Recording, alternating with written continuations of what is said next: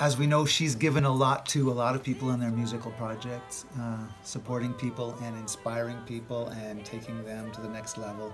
So I'm really honored to be um, helping bring Triada as the front person out and all she has to offer. She brings a lot of soul and a lot of uh, a lot of power, a lot of soul, and a lot of cosmic mama to the picture. And we need that medicine now. So um, we are going to try to produce an album that communicates that emotional depth and that rawness uh, that she is.